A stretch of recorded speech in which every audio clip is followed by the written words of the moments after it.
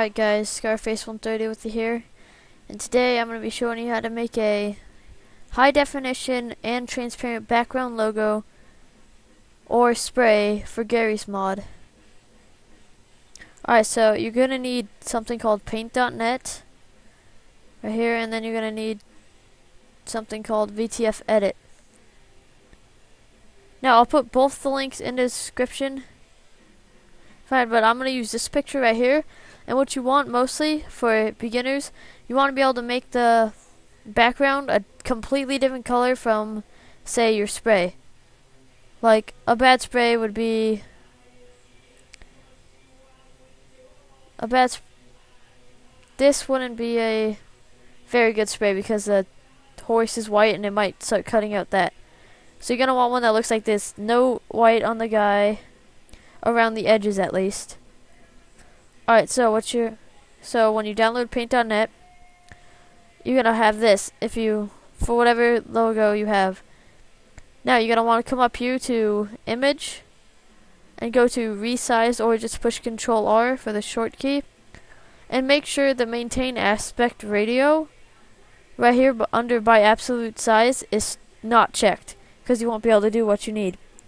Now the rest the width is going to be 512 this is the maximum for, this is a size for the Gary's Mod Spray, and uh, the height is 512. Now, if you're doing a signature or something for another forum website, that's fine. You can make it other things. But you don't come out to here. Don't worry, that won't look blurry when we're done. So what you want to do is come over here to this wand tool right here. And you're going to want to select it and make sure the tolerance is about 50. I like to keep it at 50 because it usually catches on everything. Then you click on whatever part you want to delete. Like, I want to get rid of all the white, but see? Now you see how it's cutting into the blue right there. If it's on your picture and you don't want that to get cut out, then you turn down the tolerance a little bit. And now you see it's not on my picture at all. Once you do that, you want to click delete. And then that's what it looks like when it's transparent. And I don't want this white under his legs, so I'll delete that. And I might not want that, so it's going to go away. Now, you're stuck with this. And what you need to do now is, that's all transparent, and that's fine. So you want to go to File, Save As, and name it whatever you want. I'll put Spray, Gmod, Spray. Now save it in a place you'll remember it. For me, I'll just save it into my desktops, but you want to make sure, click on this little thing down here, make sure it's a .tga, or else it will not work in VTF Edit. So you want to save that. You want to choose auto detect. Click OK. Now you're going to want to wait for it to save. We'll just minimize that. Pull up VTF edit.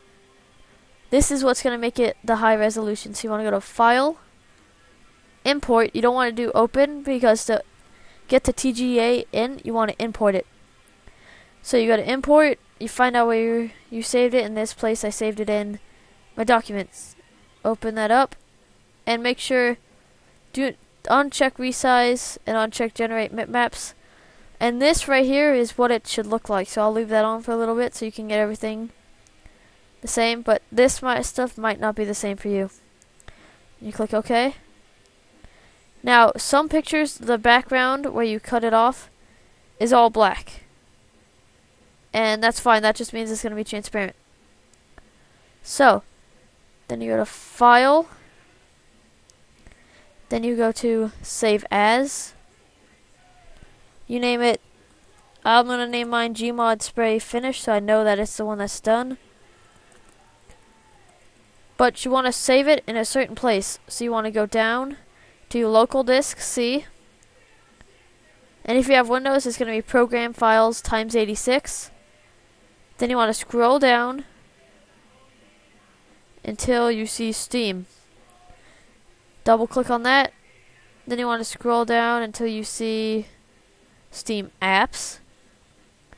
Then you want to go to the common. Click on Gary's Mod, or if you had TF2, you'd click on TF2. This one's for Gary's Mod, so you click on Gary's Mod. Click on Gary's Mod again. Then you scroll down until you see Materials right here. Double click it. Go down until you see something called VGUI. Click it I went too far. Double click feature VGUI. Then it should be a logos. Double click logos. And this is where you're going to save it. I already have sprays. So you want to save it in there. Now it's saved. Then what I do is I create a VMT folder. I'm not sure if you need to, but you might want to do it. And then you just create one in here. Then you create another one. Go to UI, create one in there. And that's done for the spray. I'll see you when I open up Gary's Mod and I show you the spray. Alright guys, I'm back. And now I'm going to show you how to upload your spray into Gary's Mod and be able to spray it. So, when you're in the menu, you wanna you cannot do this when you're in a server. So you wanna open that up, go to multiplayer. That's my current spray. Go to import spray. Yeah, click on import spray. Then you want to click on Gary's mod. Then you want to go down and find the materials again. Once you find that, double click on it. Then we'll find VGUI again. Double click. Go back to logos. Find where it is. So I name mine as this. Double click it. It should show. It might show a black because its background texture is transparent, but that's fine. So you want to click apply. I click it twice, then OK. Alright guys, so now I'm going to show you my spray. Alright, here we go. Hold on, let me go into first person. There, it's not as HD as I planned it to be because it's kind of a small photo. But yeah, it's transparent in the back. These arms kind of blend in. So thanks for watching. Subscribe.